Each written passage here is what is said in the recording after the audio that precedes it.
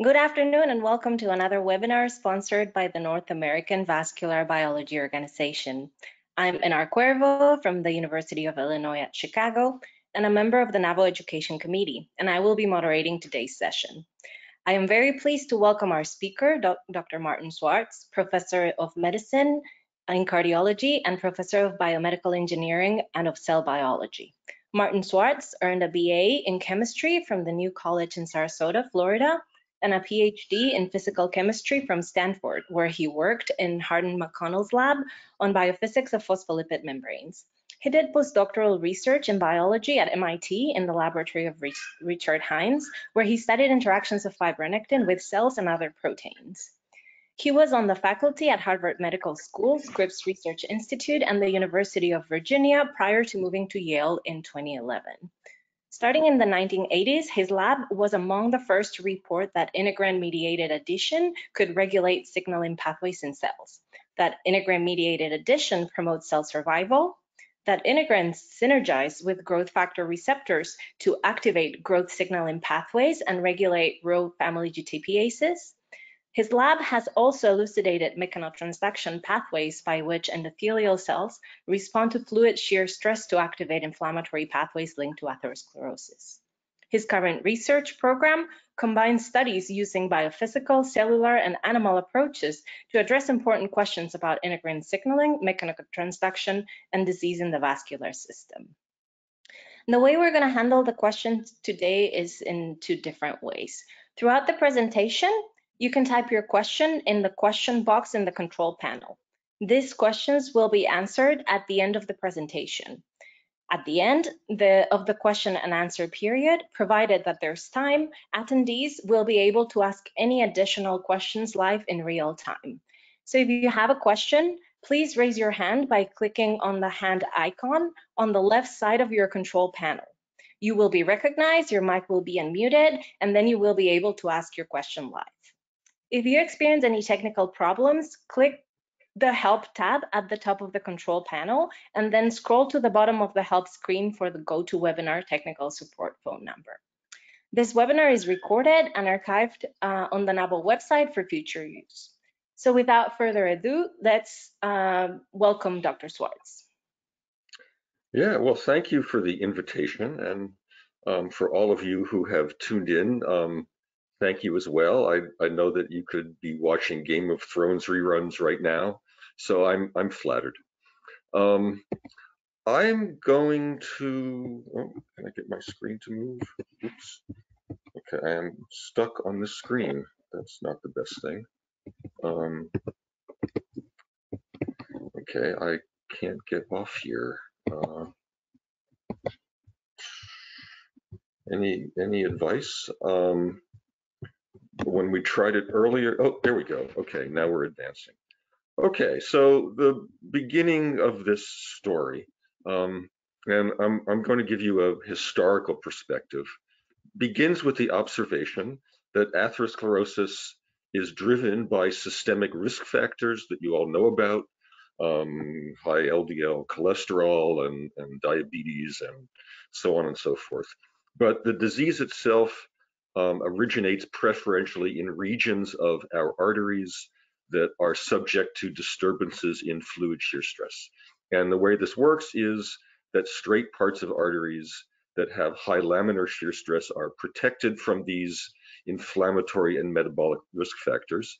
And the curves and branches where flow magnitude is lower and where there are, are changes in direction during the cardiac cycle are susceptible. And uh, we ended up um, really toward the, the, late 1990s with two collaborations that launched this entire 20 year project. And the first collaboration was with Xu Chen, and we ended up publishing a paper that suggested that new integrin binding played a role in fluid shear stress uh, sensing and signaling by endothelial cells. And around the same time, um, Sandy Shatil's lab, who was right down the hall from me at Scripps, developed an, an engineered um, FAB fragment that specifically binds to the activated unoccupied state of integrin alpha V beta 3. And Ellie Tsima came to my lab and began using that antibody. And what Ellie found is that when you apply shear stress to endothelial cells, you trigger integrin activation. And those active high affinity integrins bind to whatever matrix proteins are in the endothelial basement membrane. And some fraction of the flow signals are derived through this integrin pathway. And Ellie then went on uh, to use the integrin activation assay as a readout to map, to, to work backwards and map the pathway. And that's how Ellie um, discovered the junctional complex that plays an important role in fear stress sensing and launched her career. So she's um, now a professor at, at Oxford uh, back in England. And um, I was interested in this notion that, that integrin ligation played a role in shear stress signaling um, for the reason that endothelial basement membranes are not always the same. And to sort of make a broad um, generalization, in stable vessels, the basement membrane is made principally of the classic basement membrane proteins, um, laminin and type 4 collagen and, and, a few other things. But in remodeling vessels, either undergoing angiogenesis or inflammation or uh, various developmental processes, fibronectin and other provisional matrix proteins are deposited in that basement membrane. So when a guy named Wayne Orr uh, came to my lab as a postdoc in the early 2000s, um, he did what turned out to be uh, a really a, a, tremendously seminal experiment. And first of all, Wayne took sections through arteries of wild-type mice, and he observed that wherever there was disturbed flow in atheroprone regions of arteries, and you can see there's some endothelial inflammation, um, markers, ICAM and VCAM, are expressed in these atheroprone regions. There is also some fibronectin uh, deposited um, beneath the endothelial cells in the same regions. And the experiment, a series of experiments that, that Wayne did, was to take endothelial cells and plate them on different matrix proteins and apply shear stress and look at the signaling outputs. And the signaling outputs that he picked are a number of different things that are associated with inflammatory activation of the endothelium that drives expression of leukocyte adhesion receptors and cytokines and so on. And what he saw is if the endothelial cells were sitting on uh, proteins typical of basement membranes, so this could be collagen or laminin or what, what we eventually settled on as, as our uh, marker as our matrix was diluted matrigel. So that's basically basement membrane material uh, diluted and coated onto glass or plastic. That the basement membrane collagen uh, matrix was anti-inflammatory. That is, it, it either suppressed or at least didn't activate any of these inflammatory mediators. But if the cells were sitting on fibronectin, um, and also it turns out fibrinogen, um, flow had a strong inflammatory effect. And you will notice in, in these figures that it's really night and day, that it's um, absolutely not inflammatory on basement membrane and, and fairly potently inflammatory on fibronectin. And um, there's a couple of reasons why that might be interesting. Um, there have been a number of mouse genetic studies that implicate fibronectin uh, both in normal remodeling processes. So here's a paper from Jane Sotile where they found that disrupting fibronectin matrix assembly um, impeded vascular remodeling. And there's a number of mouse genetic studies where they delete a specific isoform of fibronectin that reduces the total amount of fibronectin that's available and that's deposited into artery walls. And in all of those studies, there is a reduction in plaque size. So fibronectin contributes both to normal vascular remodeling um, and also to this pathological remodeling um, that we call atherosclerosis. And Wayne went on to study the pathways, and, and what he discovered Um, this was started in my lab and then finished off in his independent lab at LSU, is that cyclic AMP is the critical mediator. And the way this works is if cells are sitting on collagen or basement membrane and they are exposed to flow, there is a spike of cyclic AMP accumulation and a spike of protein kinase A activation, whereas both of those were completely suppressed on fibronectin. And this paper goes on to demonstrate that the cyclic AMP mediates the anti-inflammatory effect on basement membrane, which is relieved in cells on fibronectin. So Wayne went on in his own lab to publish a, a whole long series of beautiful studies that describe the importance of fibronectin in, in disease. And, and there's a list of Wayne's papers. Um, and when Wayne left the lab, uh, this guy, Sang-Ok Yun, um, came and, and picked up a different aspect of the problem. And I should say that Sang-Ok um, left uh, my lab and has started his own lab in, in Korea, actually just a, a couple of months ago. Um, and what Sang-Ok found is, is that there is a cyclic AMP hydrolyzing uh, phosphatase, uh, phosphodiesterase, called PDE4D5. That's the, the most highly expressed uh, phosphodiesterase in endothelial cells. And it binds directly to the cytoplasmic tail of integrin alpha 5, which is the main fibronectin receptor in these cells. And uh, what you see on the left there is a, a, pull down with purified proteins that show that the alpha 5 tail directly binds um, a, a, bacterially produced uh, phosphodiesterase fragment. On the right, you see a co-IP that shows that if you immunoprecipitate integrins, you pull down um, PDE with the wild type alpha 5 and not with a cytoplasmic domain mutant.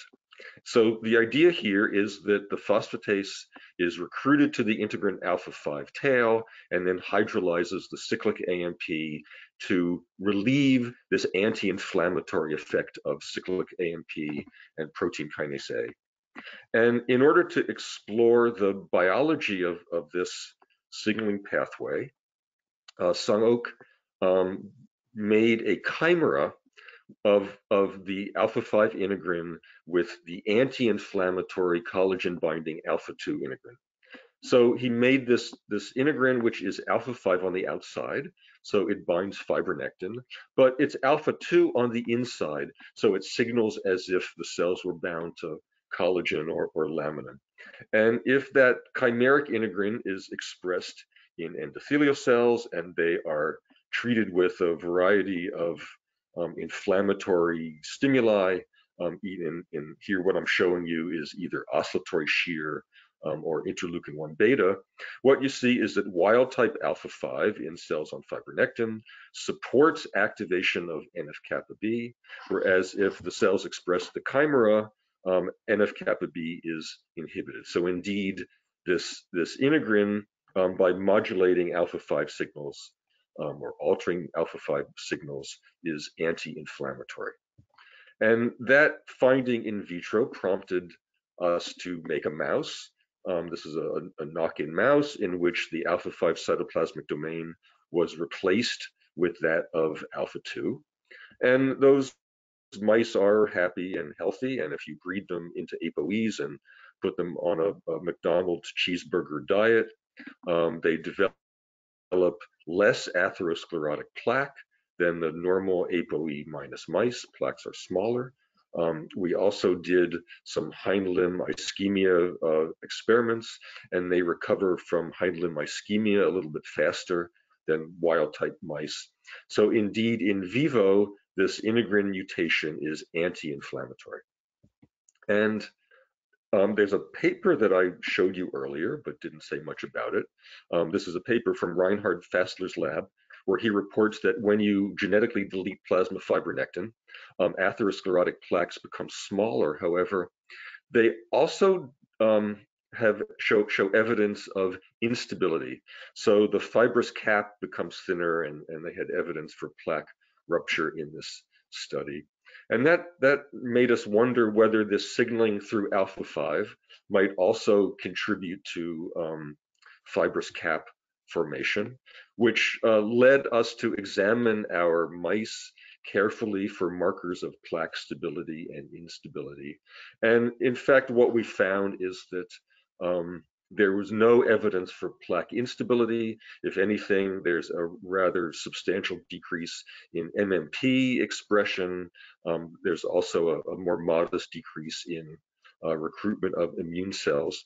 So we think that the, the pathway diagram here um, is that fibronectin does two things. Um, it signals through integrin alpha 5, and that signaling suppresses cyclic AMP and uh, is permissive of inflammatory signaling. But fibronectin is also a component of the matrix.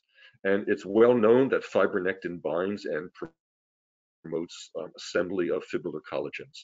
So we think that the deletion of fibronectin itself most likely leads to uh, fibrous cap thinning um, because of this effect on, on collagen fibril assembly, whereas the integrin alpha 5 signaling contributes to the inflammatory character of the plaque.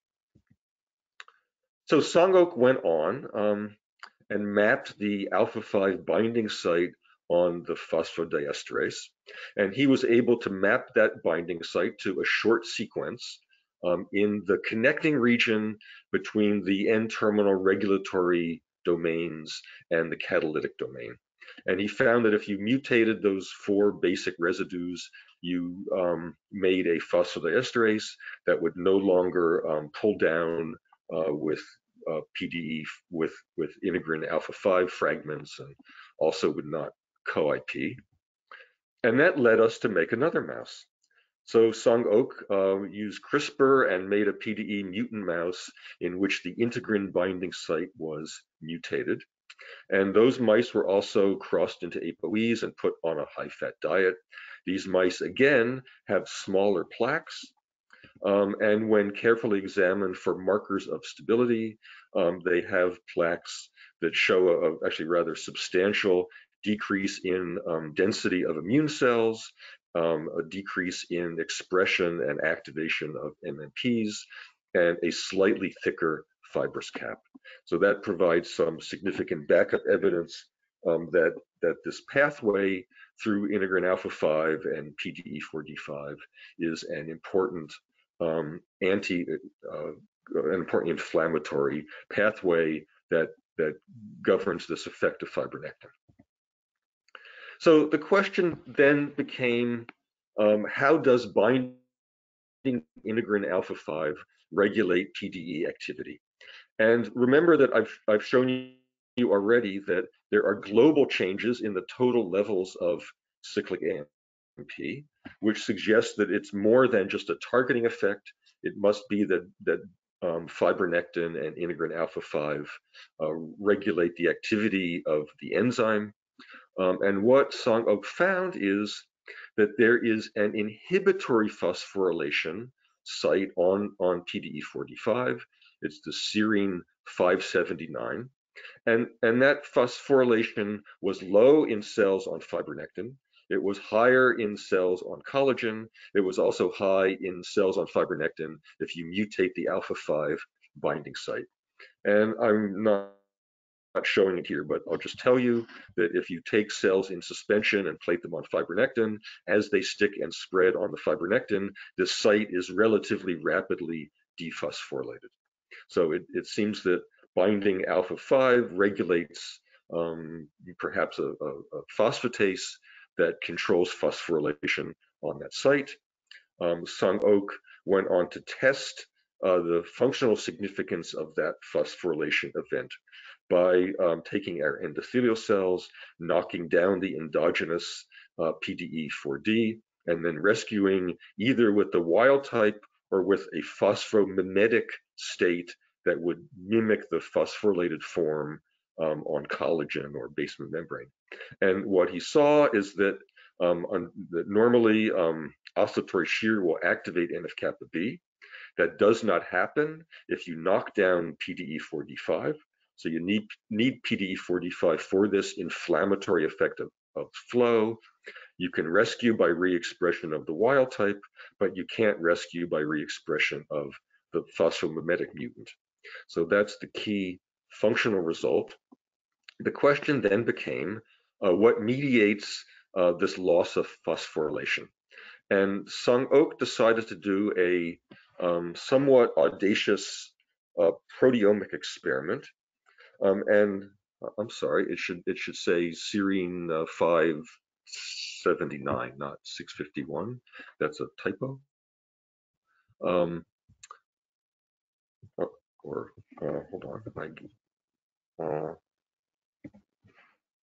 okay, so um, what, what he did is he took our phosphomimetic PDE um, with the thinking that that would serve as a phosphatase trapping mutant that couldn't be dephosphorylated and the phosphatase would would glom on and, and not dissociate. So he expressed um, this mutant in cells. He plated the cells either on fibronectin or matrigel, and then he immunoprecipitated the, the GFP uh, PDE mutant and looked for fibronectin specific proteins. And if you can see that fuzzy band there at around 55 KD, um, he cut that out and sent it for sequencing, and it came back as the B55 alpha subunit of um, the PP2A complex. So to give you a little background, um, PP2A is one of the major phosphatase complexes in, in all mammalian cells. Um, it is made of three subunits. There's a, a catalytic subunit of, of which there's only two isoforms. There's um, an anchoring subunit, the A subunit of which there's two isoforms. And then there's this um, somewhat uh, more, more uh, varied B subunit. I think there are 24 isoforms that serve as a regulatory and targeting subunit. And PP2A uh, family phosphatases dephosphorylate quite a large fraction of the uh, phosphosites in cells, and one gets some degree of specificity by um, having this variety of B subunits that, that target it to different sites. And what you see in the right panel um, is just the uh, confirmation of that mass spec result um, by Western blotting. And indeed, what you see is that these three subunits, the catalytic B55 alpha and A subunit, um, all come down um, on fibronectin, but not on matrigel. And to test that functionally, Sung Ok knocked down B55 alpha subunit. Um, he found that when you knock down B55 alpha, um, the PDE phosphorylation went way up. And again, to test whether this is regular, uh, relevant to inflammation, um, he looked at NF-kappa B, um, and in, in again, um, knocking down B55 alpha blocks the flow induction, flow activation of NF-kappa B, and that is rescued by re-expression of B55 alpha. Um, incidentally, B55 alpha also localizes to focal adhesions and does so more strongly on fibronectin than matrigel. So all of this is consistent with the notion that this phosphatase complex is specifically recruited um, to fibronectin integrins um, in endothelial cells under flow. So in the course of doing these experiments, uh, Sung Ok uh, accidentally observed something that was uh, very surprising, um, and that is that fibronectin seems to promote the interaction of B55 alpha with the other subunits. So this is an or a pair of experiments um, where either cells are in suspension or plated on fibronectin or plated on fibronectin versus matrigel. And, and then B55 alpha or the catalytic subunit is immunoprecipitated. And what you see is that, that on fibronectin, this trimeric uh, PP2A complex assembles and on matrigel or in suspension, it doesn't.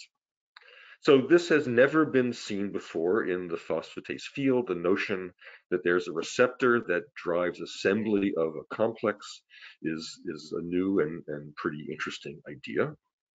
Um, and that idea, together with the fact that these phosphatases are relatively few and have a great many substrates led us to wonder if there might be other relevant substrates. And um, although there are, you know, sort of higher throughput uh, methods in, in my career, probably the most effective method of, of screening has been um, guessing. And the substrate we guessed at was YAP. And the basis for the guess is, is partly that there's a tiny shred of data that YAP might be a PP2A substrate. YAP had also been strongly linked to atherosclerosis and disturbed flow. Uh, for those of you who are unfamiliar with this pathway, YAP is the ultimate effector of the Hippo pathway. There are these upstream kinases activated by uh, tension and density and cell-cell interactions that phosphorylate and inactivate YAP and its homolog TAZ. Um, that inactivation uh, results in ubiquitination and degradation. Um, if the Hippo pathway is, is turned off, uh, YAP is dephosphorylated, goes to the nucleus, it turns on some large number of genes. In endothelial cells, those genes include um, a, a, list of, of, inflammatory mediators. So there are these, these previous papers that link um, YAP in endothelial cells to inflammatory gene expression and atherosclerosis. So Sung did this very simple experiment of plating our endothelial cells on fibronectin or matrigel and looking for a phosphorylation of YAP. And in, in, indeed, uh, plating on fibronectin was sufficient to dephosphorylate YAP on a critical regulatory site. Um, when we did functional experiments with B55 alpha knockdown and PDE knockdown, we found that that YAP dephosphorylation um, required uh, B55 alpha and PDE4D.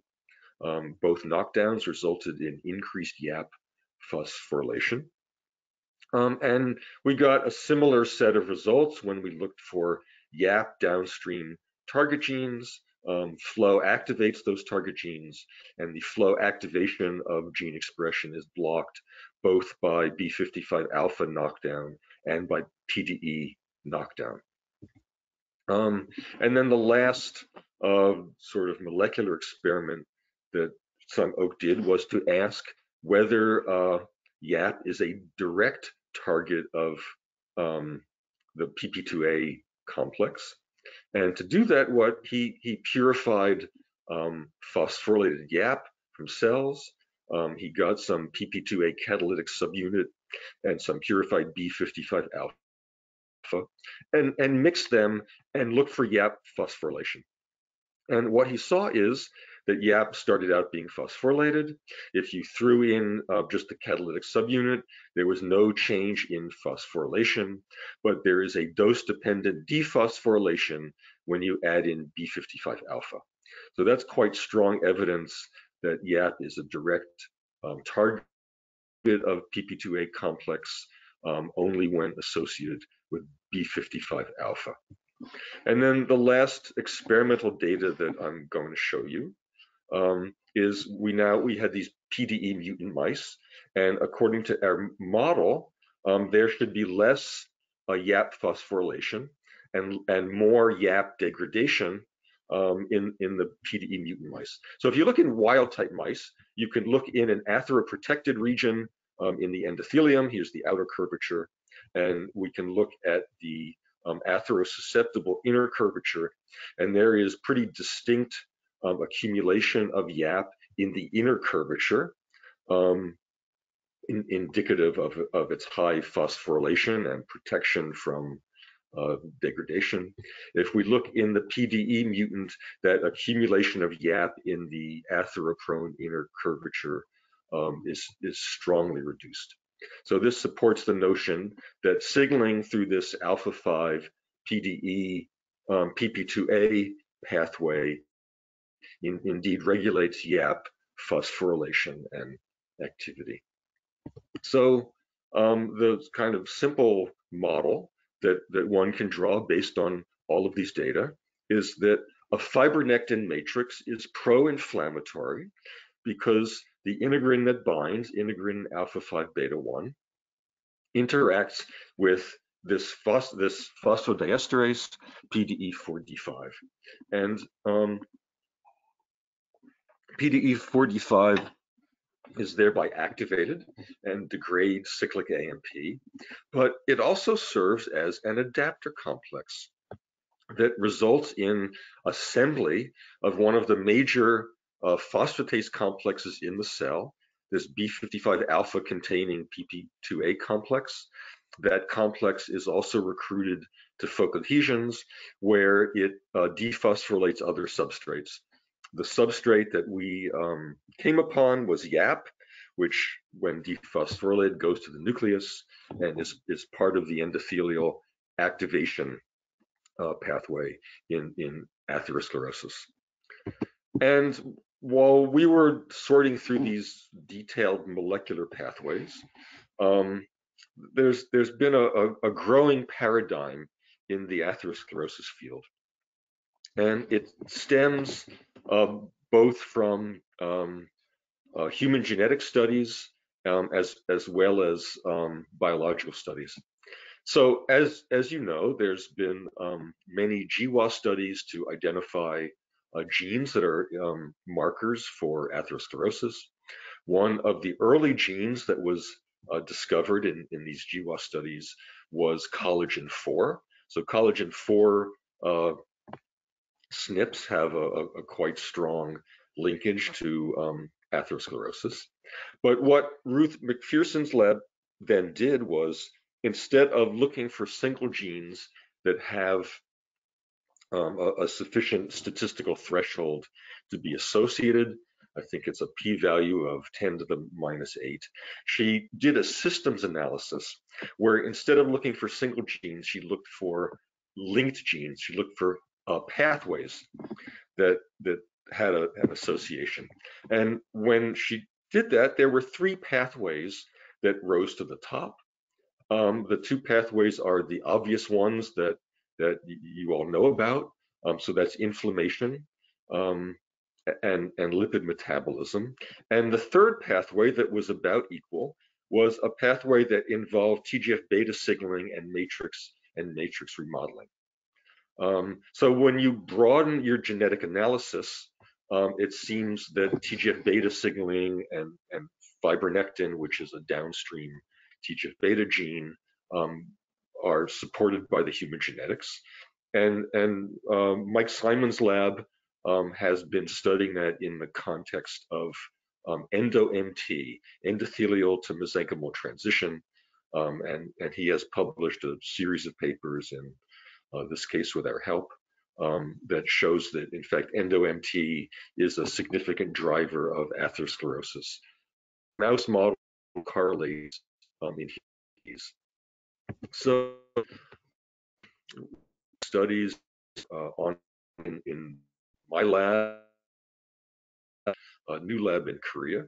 Uh, Sanguk has done a phosphoproteomic screen uh, to look for phosphorylation sites that are regulated through this fibronectin integrin PP2A pathway. And um, I will just casually tell you that we have a, about 100 hits um, that seem to be regulated. Sanguk has validated a handful of them, um, and we are in the middle of testing their biological relevance, but we are seeing some very interesting things. It's clear that there's a, a whole long list of um, interesting players that whose phosphorylation is regulated through this pathway. Um, the second ongoing direction is we are putting our mutant mice through a number of disease models. Um, and at present, um, we have interesting data uh, both on, on diabetes and in um, aneurysm models that suggest that these mice um, are resistant to these diseases all of which involve um, amplified fibronectin um, assembly and, and, gene expression in, in vessels. And then we are just beginning a project um, to try to understand um, the other fibronectin receptor and, and fibrin receptor integrin alpha V beta 3, which also has anti-inflammatory effects or pro, excuse me, pro-inflammatory effects, um, but does not interact with PDE. So that's that's the story. Um, really, uh, the the last eight years of this work has been driven almost entirely by one uh, really superb postdoc, uh, Sanguk Yun, um, with a bit of help. Uh, Madhu Budatha did um, some of the animal work that I have shown you, um, and a, a, number of other people contributed. Uh, George Baillie in Glasgow was our um, PDE collaborator, and David Pallas at Emory um, has been our PP2A collaborator. And I will stop there and take questions. Thank you so much, Martin. That was a fantastic talk, and we have a lot of questions from the audience. So the first question is from um, Mabruka Al-Fadi. She's asking, how does PD4D5 uh, phosphorylate? Is it phosphorylation dependent solely on shear stress? Uh, does SHP2 dephosphorylate PD4D5? Thank you. Well, I already showed you that PP2A dephosphorylates um, that site on, on the phosphodiesterase. So um, I, I think that's the answer to your question. We have another question. This one is uh, from Bill Muller. So he congratulates you. Great talk, Martin. In the in vitro flow studies you spoke of early on, have you ever tried adding laminin 511 versus 411 to fibronectin to determine whether they alter pro-inflammatory characteristics of fibronectin? There is evidence that they alter inflammatory outcomes in post-capillary venules, where flow is substantially lower than the levels you use. Yeah, first, hi. Uh, good question. Uh, ever done experiment uh, five laminin.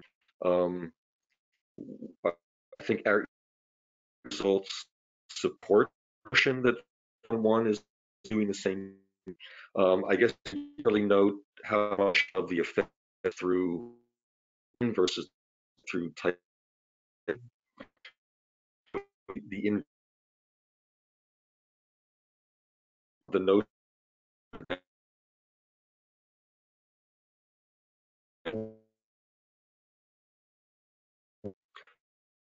However,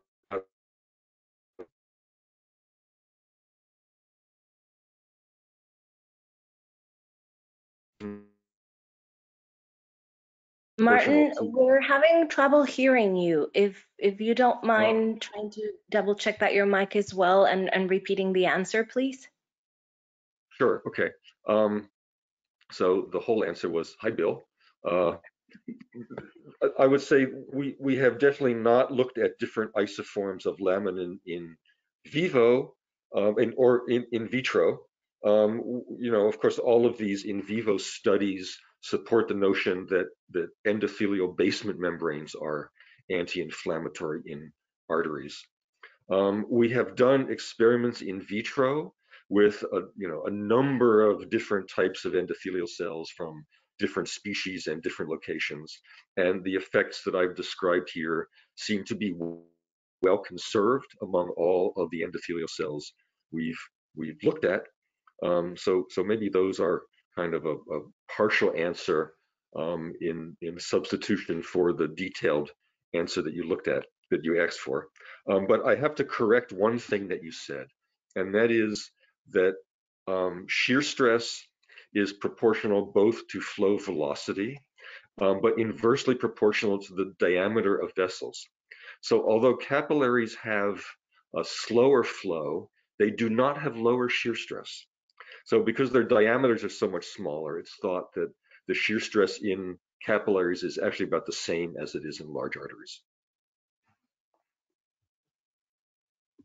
Okay, thank you so much, Martin. There's another question uh, from Rita Alevriadou, um, and she's asking, is the dephosphorylation of YAP within one hour of oscillatory shear stress enough to drive the pro-atherogenic phenotype? Will this work even if the cells are cultured on gelatin and exposed to oscillatory shear stress? And she's asking this because most labs just culture endothelial cells on gelatin and expose them to different flow types. Sure. Um, so gelatin is an ambiguous substrate. And the reason it's ambiguous is that, well, yeah, it's sort of collagen, um, but it's denatured collagen um, that binds integrin alpha V beta 3 and also is pretty good at binding fibronectin, but evidently to some extent can bind um, the, the collagen binding integrins as well. And one of the very early on that, that put me onto this uh, whole pathway is that there were discrepancies in the literature and people who plated their endothelial cells on gelatin um, got different results than than we were seeing on fibronectin. Um, so I don't like to use gelatin because it's it's sort of neither fish nor fowl. It's it's a little bit collagen-like, but but also not entirely. Um, and I think on, on gelatin, you get rather variable results, depending on how long the cells have been plated and where the gelatin comes from and so on and so forth. Okay, thank you very much. Uh, our next question comes from Saki Alyafai and is asking, how does flow induce cyclic IMP production?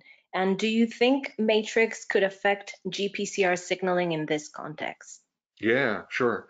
Um, so, so it's in Sanguk's Nature Cell Biology paper that in his hands, um, and I, I, think there's some uh, divergence in the literature on this depending on the time point, but there is, but the initial surge of cyclic AMP upon um, initiation of flow um, seems to go through synthesis of uh, PGI2 so, so prostacyclin has long been known um, to be an early event in flow signaling.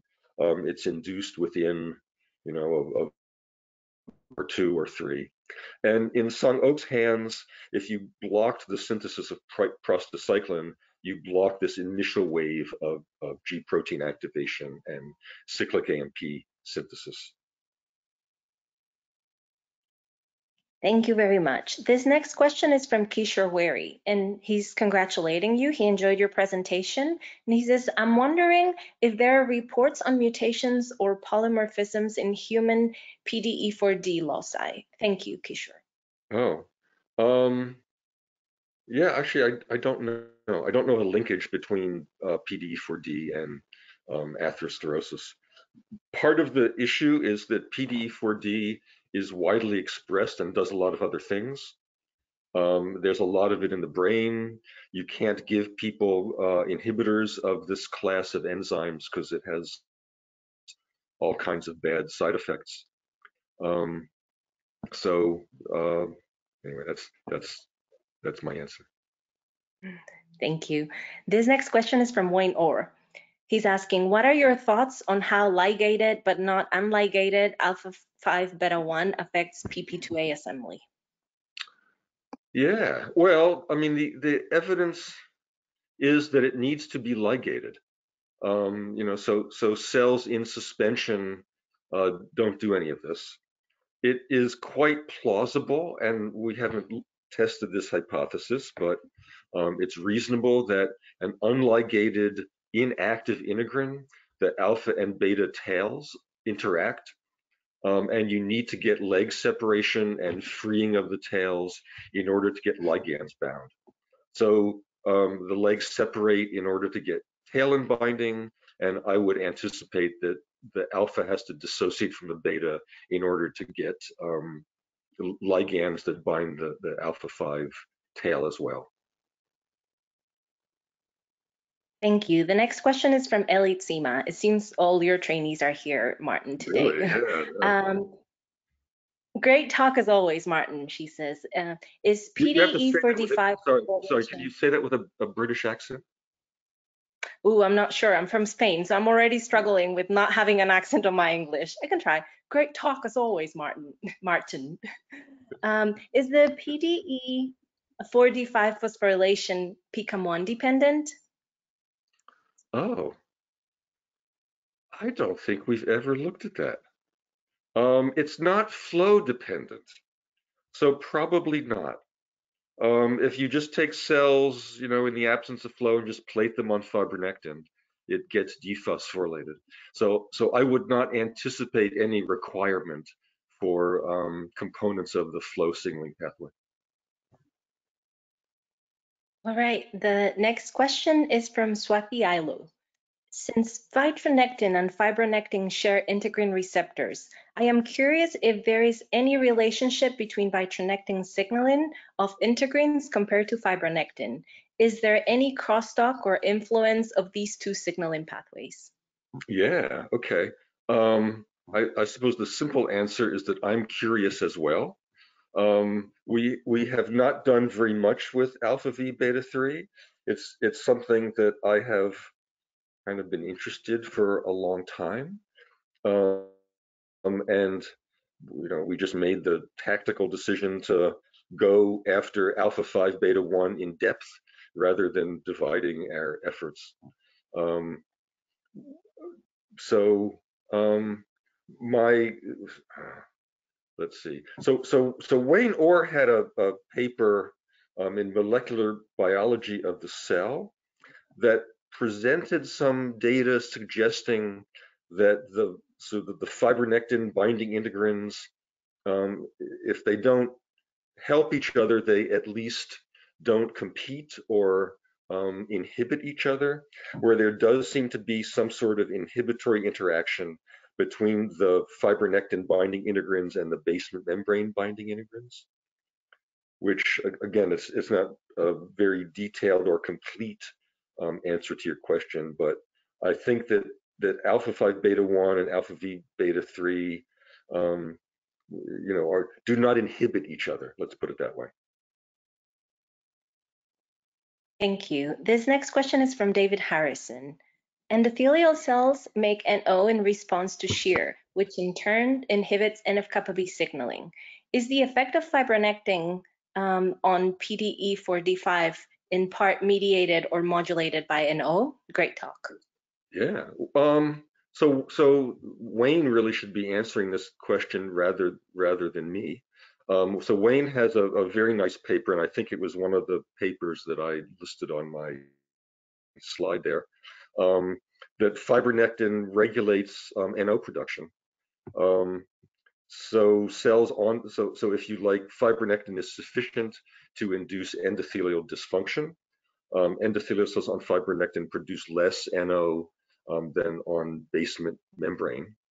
Um, whether PDE is directly a part of that, I guess we we have we have never specifically looked, but but I would almost be surprised if it weren't.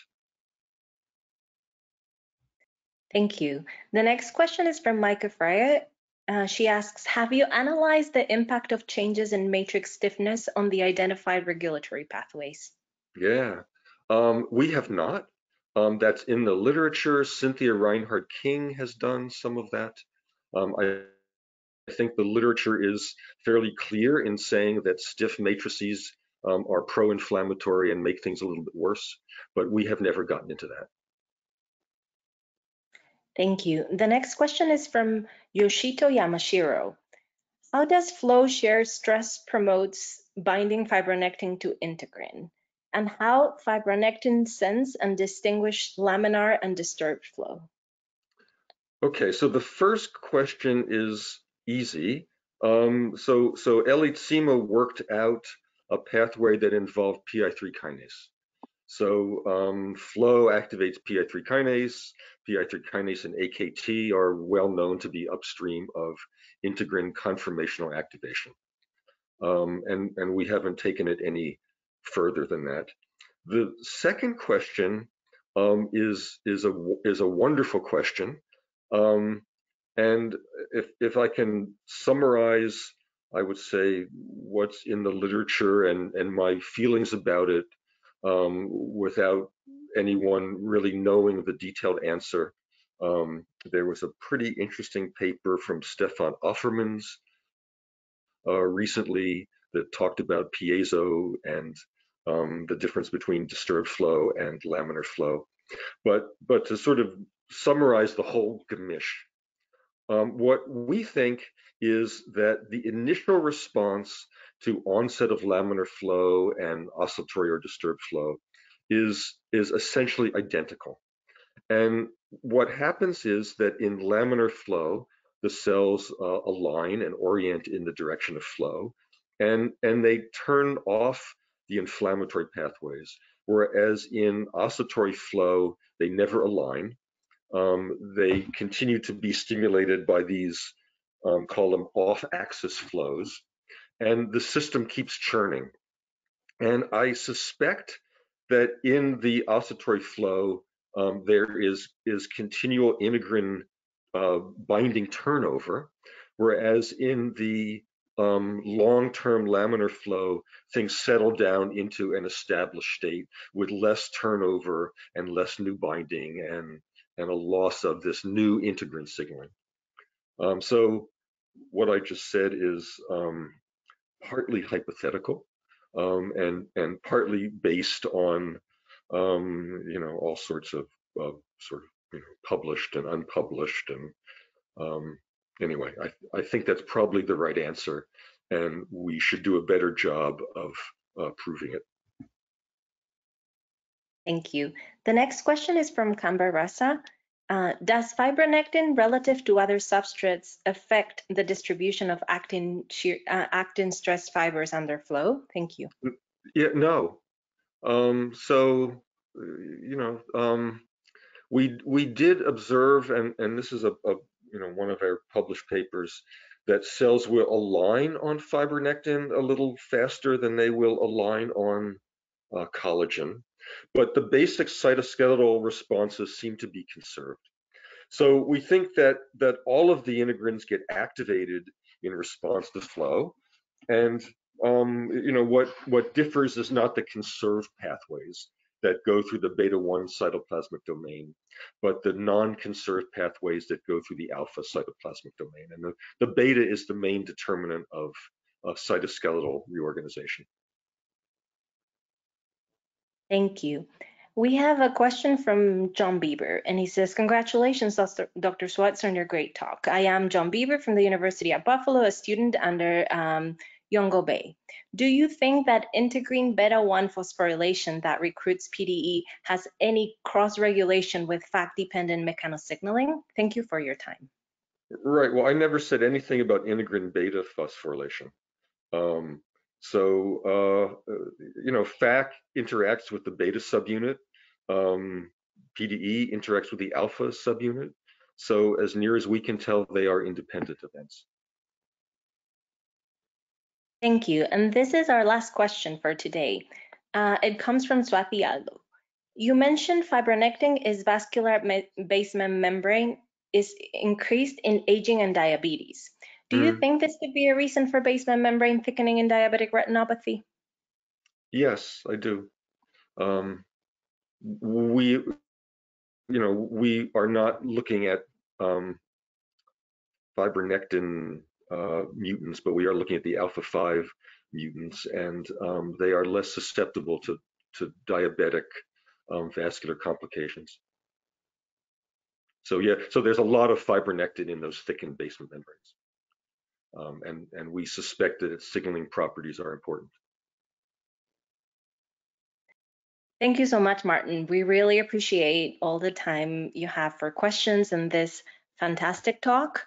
Um, for all of you attendees, thank you for being here. I hope you found this research presentation as um, awesome as I did. Uh, Martin Schwartz will be participating in a live discussion on tissue stiffness on June 1. So if you still have comments or if you wish to further discuss your questions with him, please um, connect with us on June 1st. Um, these webinars and the panel discussion are brought to you by the NAVBO Education Committee. Our next webinar is on Thursday, June 11th uh, at 1 and Eastern Time with Mary Wallingford from Tufts University School of Medicine. And she will talk to us about essential yet transient um, an introduction to the placental circulatory system. So look for the registration to the webinar in the NAVBO Newsbeat newsletter. Also, please fill out the GoToWebinar evaluation form when you receive it in a subsequent email and let us know what you think about the GoToWebinar format and if there's any topics you may want to see in a future NAVBO webinar. Thank you everyone and have a good day. Okay.